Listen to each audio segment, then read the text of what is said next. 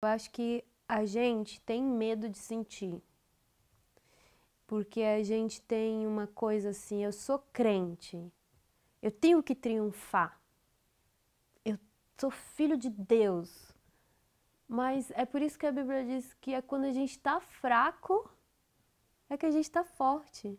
Então, eu acredito que quando a gente está um bagacinho quebrado, como eu estava falando agora, assim, eu acho que é aí que tem um segredo bonito ali. Então, eu acho que se eu já sei que sim, eu sou filha desse pai vencedor, não significa que eu vou estar vencendo o tempo todo, mas eu sou filha dele, então eu sei que a dor e o sofrimento, ela não é o meu meio, ela é o meu fim.